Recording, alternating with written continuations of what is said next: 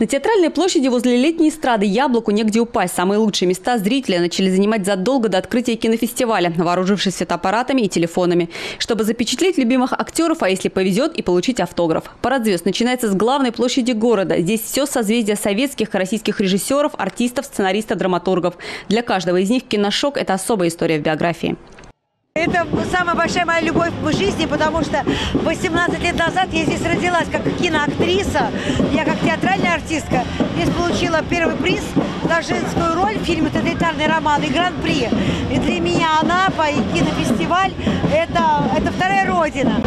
На киношоке я получил первый приз за свою первую полнометражную картину. Приз режиссуры. Это была настоящая путевка в жизнь, на самом деле часть моей жизни, 25 лет моей жизни. И огромное количество встреч людей, э, фильмах, э, так сказать, многих, к сожалению, актеров уже нет или режиссеров, но они остались здесь в моем сердце. Ежегодно в сентябре на протяжении вот уже 25 лет на неделю Анапа превращается в большой кинотеатр. Поздравить с юбилеем фестиваля участников и гостей. В город-курорт приехал губернатор Краснодарского края Вениамин Кондратьев. Глава региона отметил, что за 25 лет Анапа и Киношок стали не просто партнерами, а хорошими верными друзьями.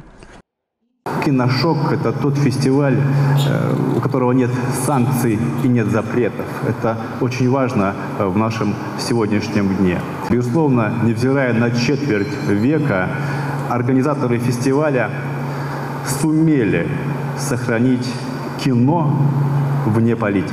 Мы сегодня очень часто говорим об экономике, мы говорим о э, других очень проблемах жизни. Ну, друзья, ну, давайте признаем, что, наверное, наравне с экономикой сегодня как никогда нужно говорить о нравственности. А кино – вот один из очень действенных и сильных способов формирования нравственности. Конечно, нам хочется, чтобы вот это кино было патриотичным, которое заставляет верить в себя, в свой народ, в свою землю, которое позволяет верить в то, что ты в жизни будешь кому-то нужен, и ты состоишься как гражданин, человек, патриот, как активист жизни. Это очень важно, это нужно, это жизненная необходимость. В рамках юбилейного фестиваля будут соревноваться полнометражные и короткометражные художественные фильмы, телефильмы, картина для детей, а также киноальманахи. Юбилейный год киношок будет удивлять зрителей, а перед членами жюри, который возглавляет Алла Демидова, стоит сложная задача.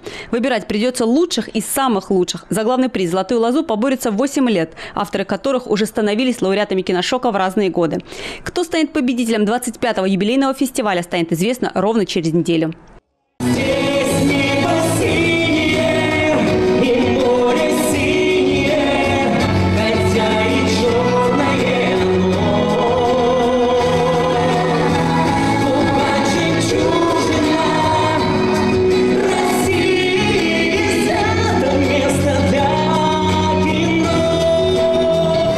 Елена Касабова, Влад Захаров, Кубань 24, Анапа.